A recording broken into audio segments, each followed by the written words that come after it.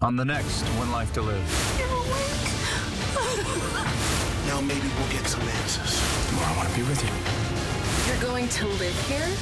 Yeah.